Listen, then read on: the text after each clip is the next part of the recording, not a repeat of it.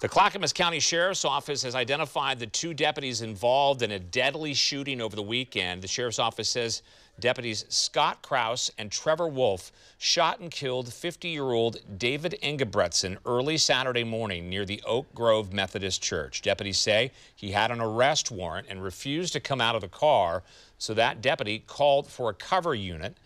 Officials say at some point there was an exchange of gunfire and Engebretson was killed. We're told the deputies involved have been placed on routine paid administrative leave, this per policy.